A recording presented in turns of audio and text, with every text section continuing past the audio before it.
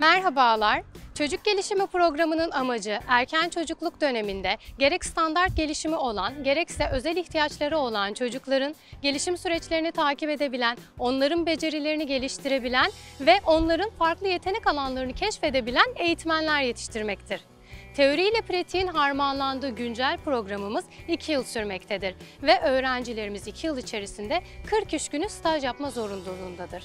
Öğrencilerimiz anlaşmalarımızın olduğu okullardan rehabilitasyon merkezlerine kadar çeşitli kurumlarda iş fırsatını yakalayabilmektedir.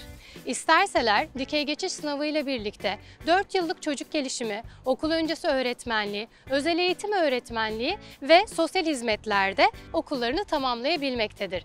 Görüşmek dileğiyle.